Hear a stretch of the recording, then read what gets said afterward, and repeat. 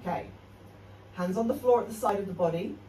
Take the ball underneath the heel and ankle of the right leg. Flex the foot so that the, have, you have a nice ankle um, with the toes coming up to the ceiling. Maintain that position through the front edge of the body, those bony landmark distances. Lengthen the back of the neck. Work in time with the breath and take only 50% of the weight off the ball. So the ball's only holding 50% of the weight and now float the left leg. Okay, are you ready?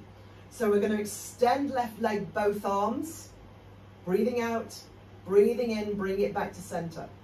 Again, just 50% of the weight on the ball. This is a bit of a stinker, to be honest. You should be able to feel those abdominals, those hip, back, waist muscles, all of that corsetry stabilizing you. Don't have to ask it, happens all of its own accord.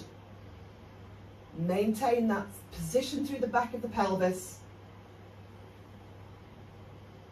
Again, if it's too heavy, put more weight down onto the ball. If it's too easy, take a little bit more weight off the ball and do it two more times.